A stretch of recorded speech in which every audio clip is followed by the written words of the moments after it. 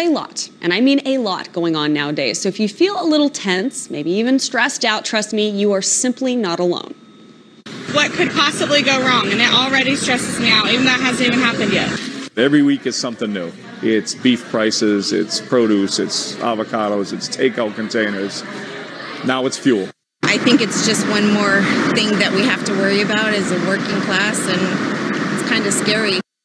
Data from an American Psychological Association poll shows that 80% of adults say that they are significantly stressed. And here's why. We're talking about inflation, financial stress, global uncertainty, the invasion of Ukraine, and the possible retaliation from Russia. Those are just a couple of reasons that we're also stressed. Now, most Americans say that they feel like they have consist- consistently been dealing with some sort of crisis without a break. That's been over the past two years.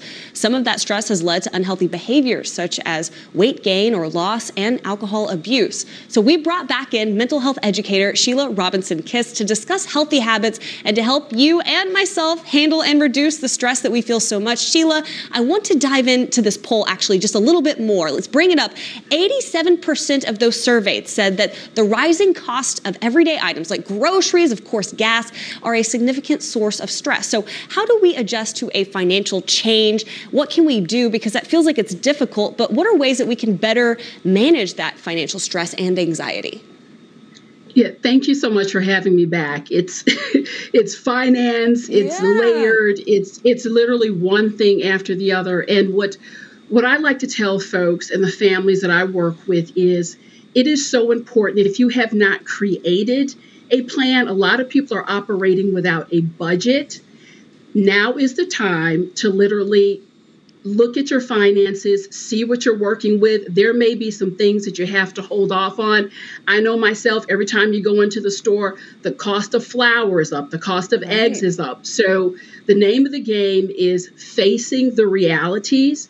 And if you need to put something on hold, do that. Anything right now that's going to support minimizing the stress and having a plan, knowing what is in front of you, not kind of nebulous out here in the air, but truly what you're working with, it does reduce stress. Awesome. Make a plan. Okay. Let's also talk about this because at this point, there's nothing we can really do about inflation. It is happening, and we don't really know when the pandemic is going to end. So, how can we break the vicious cycle of worrying and stressing about things that we can't control?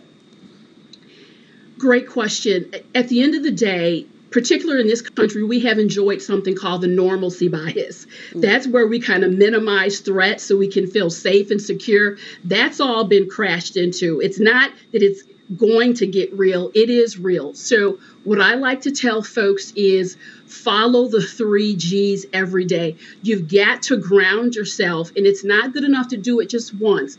The three G's are this for three minutes three times a day. I want you to just stop wherever you are. You can even do this work internally inside of your head. What am I grateful for? Why? Because when we're grateful, that puts us instant feelings of abundance. We are prone to getting things out of perspective when we're under stress. The second G is what is grounding me?